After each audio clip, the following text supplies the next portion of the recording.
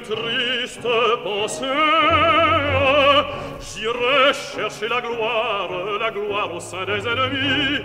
Le premier, le plus brave, au fort de la mêlée. J'irai combattre combattre pour mon pays et si vers lui Dieu me rappelle je veillerai sur toi fidèle.